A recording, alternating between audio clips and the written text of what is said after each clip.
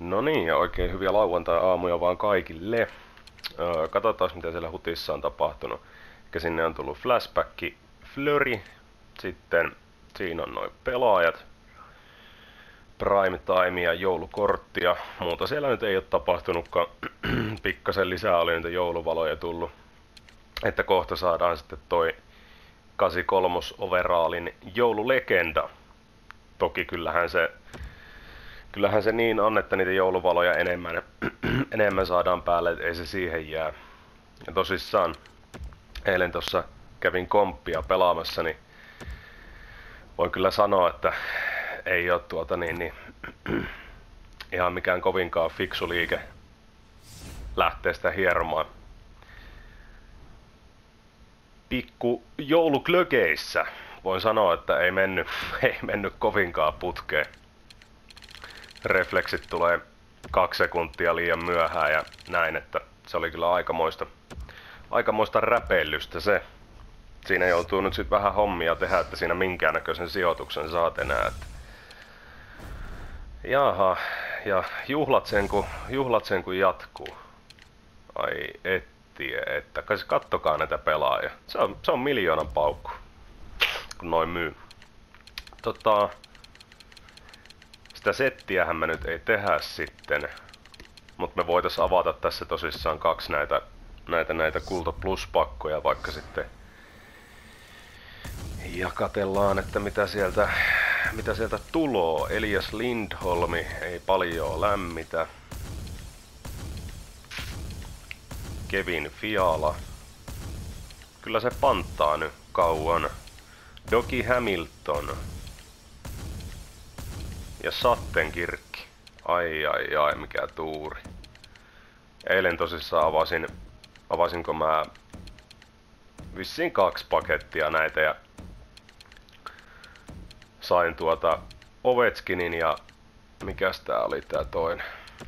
No, enpä nyt muista, joku viikon joukkuekortti ja sitten yksi jääkortti, niin nyt oli aika, aika höpö höpö paketti.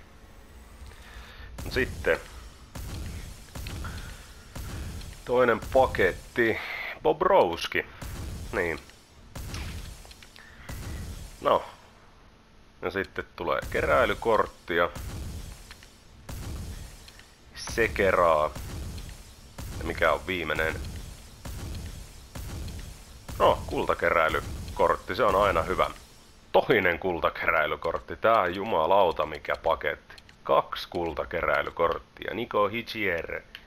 No, Sehän meni, sehän meni aika nappiin, mikäli sikäli nää vielä myy. No jos ne myy 20 tonnia, niin sehän oli ihan... Ei, ei, ei näin. Ihan älyttömän vörtti. Joo, kyllä. On se jännä, että miten voi olla pelkistä kultakeräilykorteista iloinen. ei Suomen lippua voi pikaa myydä. Ei mitä mä nyt sekoilin.